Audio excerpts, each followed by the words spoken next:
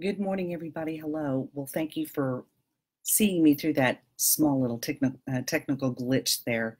Uh, the software program that I normally use to go live suddenly had some kind of internal error and wouldn't start the live broadcast. So here we are. So what I'm going to do really quickly is I'm going to share this um, with friends so that they know I'm here. And if you're live, please pop in and say good morning because I'd love to see you here. But hope you're having a good morning so far. So um, I'm going to go on here just really quickly and share this so people know that I am live. But how are you doing? How was your week? What an interesting um, week we've had. and yesterday was quite the show, wasn't it?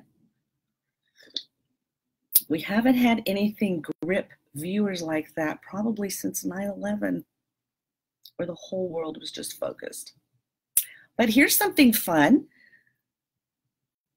Featured mug of the day. Yes, my sweet husband, mm, he made sure that I had a Writer's Cup cup for my broadcast this morning. So shout out to my sweet Michael. I love you. Thank you for my new cup.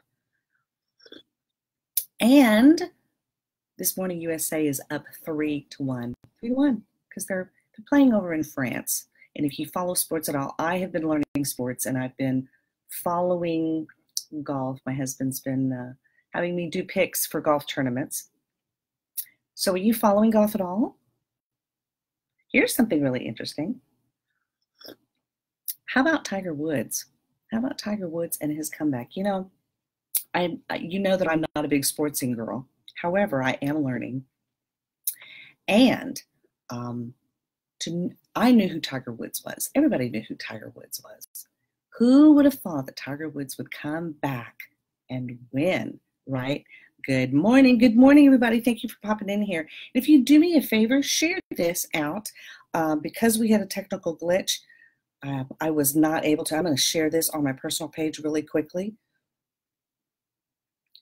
um, and let folks know. All right so that way folks will know that we're here. But good morning, good morning, everybody. Good to see you here. Thanks for being here. So, I'm live for you on this Happy Aloha Friday to tell you about a new series that I am going to be debuting one week from today, next Friday, October 5th. It's going to be great. Good morning, Melissa. And we, I'm so glad to see you here, my dear. So glad you are safe. Um, welcome. It's great to have you all here. So, today's cup, the Writer's Cup and we were talking about Tiger Woods. And I don't know if you guys saw it, but the if you watched the video recaps of the PGA tour that was played, um, my husband called me into the room to have me watch it, and I'm glad I did because it was amazing to see the sea of people that were following him, all of them with their phones up because they wanted to capture that moment.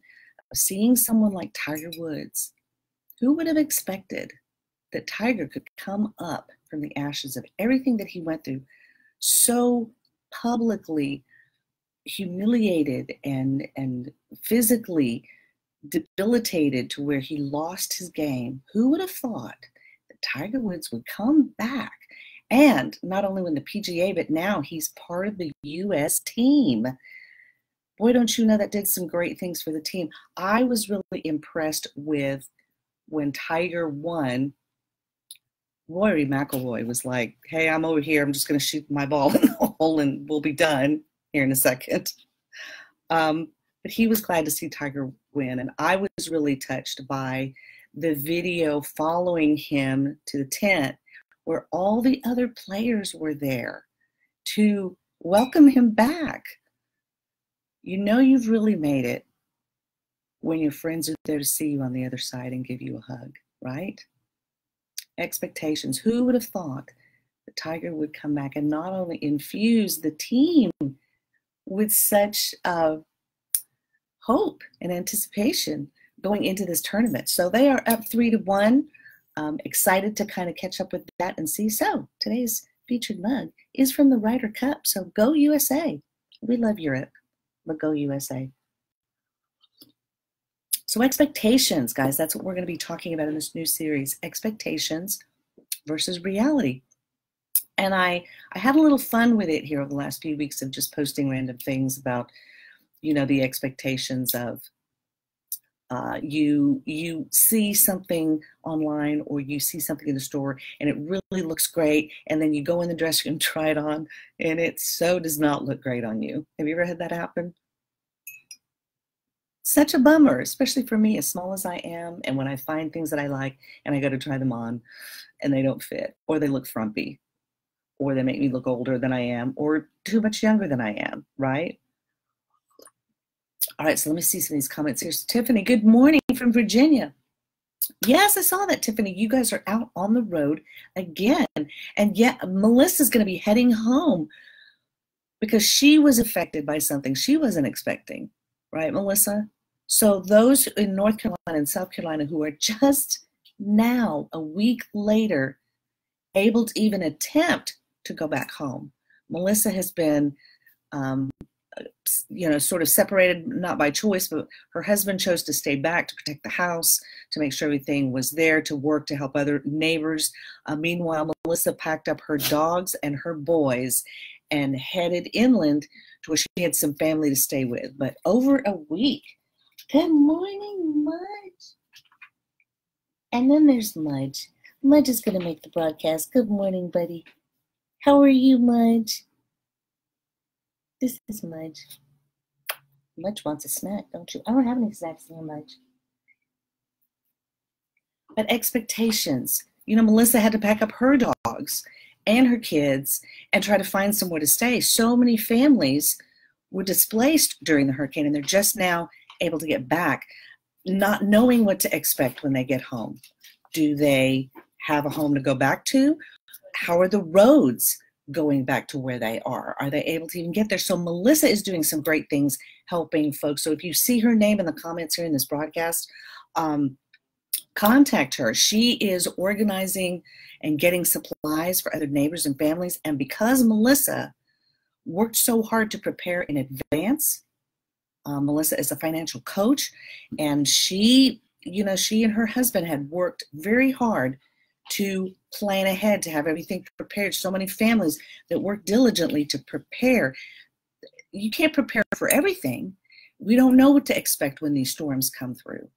Um, but we prepare as best we can because we know that we can alleviate some of the problems that come from not being prepared, right? when those things happen. So check Melissa out, support her. Yes, it's good to see. Good morning. There's my sweet daughter, Savannah. Good morning, Becky. Good to see. Yes, you're one of the last ones of your friends to head home. You left September 11th. Oh my goodness. Well, and Melissa had to put her boys in another school where she was staying, thankfully close to family, but even just for a week or so, so that the boys could have some sense of stability and, routine despite these circumstances, right? So, and Jack was also um, essential personnel at work. Okay. So it's so important, but sometimes there are things that happen in life that we don't expect. I'm going to be talking about some of that. How do we handle expectations when situations completely change on us? Sometimes there's things like what Tiger did. He was able to handle the expectations of people, of himself, because there's only two types of, of expectations. And I've been reading this fabulous book by Gretchen Rubin called The Four Tendencies, uh, she break down she breaks down personality styles and types, how we are hardwired when we come into the world, how we respond to things in the world, and how we respond to expectations we put up on ourselves. So here are some things we're going to be talking about.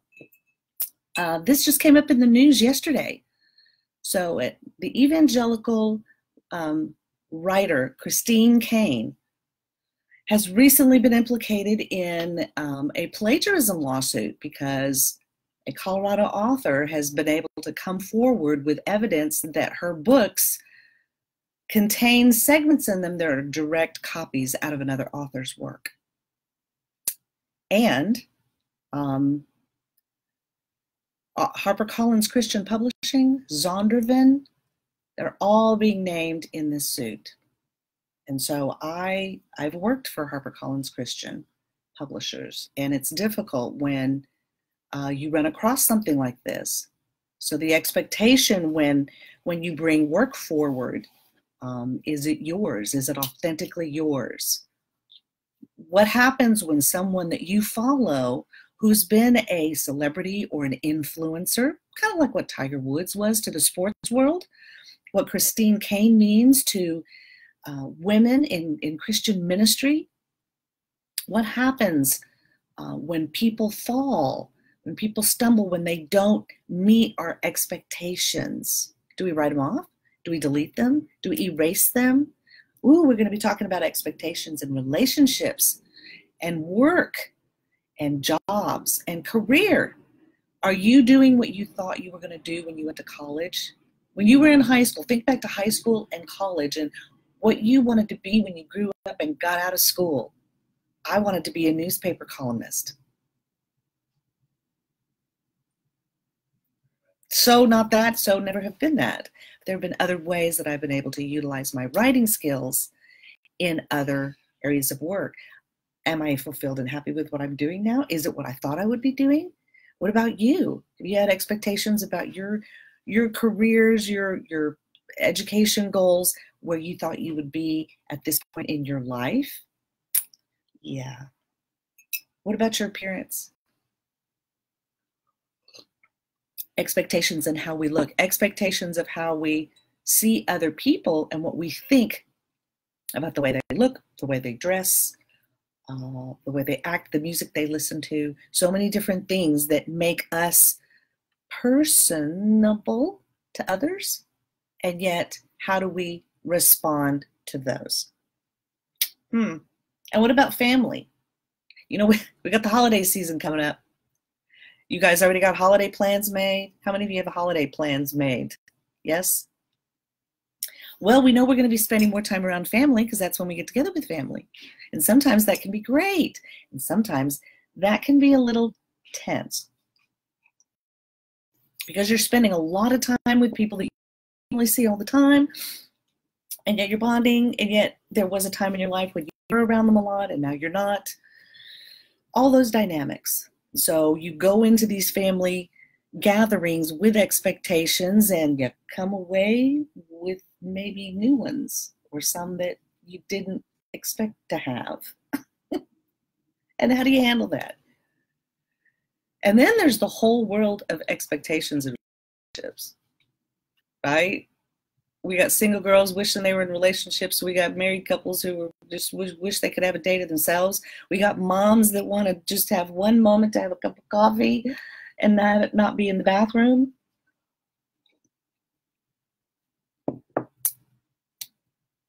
we have people that don't want to be alone for the holidays.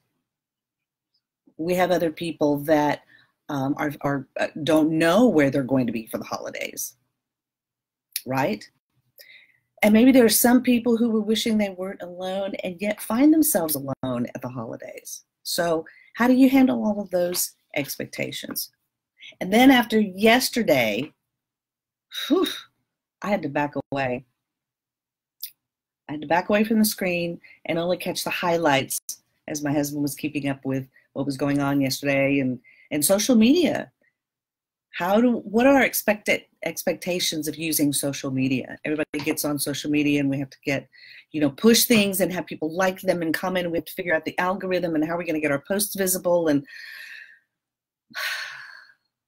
what are you using social media for? How are you using it? If you are using it for you, your business, are you um, aligning yourself with people who can teach you how to strategically use the tools to better what it is you're using it for, right? What are your expectations of using social media? And how, how do you want to interact with people online? What kind of content are you going to share? How are you going to interact with them? So we're going to talk about a lot of things over the next few weeks. We're going to be sharing some tidbits. I'm going to be sharing some things with you, and I hope you will be there to join the conversation because we're going to throw out some really interesting things. Talk about maybe some expectations that you had for 2018 that maybe maybe some of them turned out even better than you thought they were going to. Maybe you discovered some new things you didn't think you could do because of the way things happened this year Or maybe 2018 didn't turn out exactly the way you thought it would, but then again, that's really not a bad thing because maybe it showed you some things about yourself and about your life and about your relationships that are maybe areas that I know I can work on. A lot of things that I realized this year that I never thought I would see. My own expectations. You or work, have you see, have you've seen some highlights, right? Big questions today. Big questions. What are our expectations? Guys, here's the thing. We know it's going to go one of two ways. Are you prepared regardless of which way it goes. Because it's going to affect, it, these are ex, external expectations that are going to affect, are they going to directly affect us? Are, are they going to direct me getting up and going to the bathroom in the morning and then getting up and making my hair look a little bit presentable and, uh, and, and have me look a little bit alive? And then fill up an awesome cup of coffee and get my day started? I think the only way it's really going to affect me is how I see others and how I see myself. Right? Because that's how we interact with people. So, what are your challenges today? What are your expectations going in today? And where are we going to end up? Well, here's the thing I hope you will end up back here next Friday because the official um, broadcast will happen on Friday on Friday mornings, 7:30 a.m. I may be coming to you from pl- secret places. I may be um, showing up at different places. I may have guest interviews with some incredible stories of people who lived through some expectation changes. Um, or maybe we'll just talk about some great things. But I hope that you'll be able to interact and share with me because a lot of us had different expectations of where we would be right now in so many areas. What are the ones that are challenges for you? How do you want to turn them around? And what are your expectations going into 2019? I don't know about you, but this year kicked my ass in a lot of good ways, a lot of interesting ways. But I know that with a good mug and a cup of coffee, things can turn around. And a lot of prayer, a lot of prayer. Folks, we know that He has a plan for us, a plan to prosper us, not to harm us, a plan to give us a hope and a future. Believe those words. And then let's center our expectations around those those will be the guiding light that'll keep us anchored and safe in the midst of these choppy waters. So we have big things to tackle today. We have big things that we're expecting. Be prepared no matter which way the pendulum swings. Because you know what? We're going to be okay. You and me. And a cup of coffee. Speaking of being okay, there's poor, listen, you got to check this out on the news. Bruce Koepka, God love him. Bruce Koepka, Here's one of the headlines that I saw as I was checking out the Ryder Cup this morning. So Bruce Koepka evidently hit a ball so hard that it hit a woman who was watching the game. Not took her out, man. She was clocked. Um, poor Bruce Koepka. So let's pray that those players, you know, that balls will not be falling from the sky on people because they're not expecting that, right? And I hope today, whatever balls fall in your court, you're able to lob them back. All right? Because it's Happy Aloha Friday. We're going into the weekend with a bang. Guys, I can't wait. We are ending the month of September and starting quarter four of 2018. Three months, guys, and we're gearing into the holiday season. Are you getting excited? I'm getting excited. I don't know about you. I love the holidays. Gives me hope and expectation presents of Christmas, of getting together with you here and sharing mornings together. So I hope you guys have a wonderful weekend. I can't wait, wait, wait to start. New content is going to be coming out October 1st. So make sure you like this page so you can get all my updates. And please be sure to go to my website at www roneiharden.com. Sign up for my email list. I've got some things prepared. They're going to start shooting out, shooting into your inbox, keeping you up to date on what's going on. And I'll also post a link to a Facebook group. You can join my Facebook group right here off my Facebook page. But guys, thanks for being here. I love you guys. Have a great weekend. I'll see you back here next Friday for the start of the new series, Expectations versus Reality. It's going to be a blast, I promise. Have a good one. I'll see you next Friday.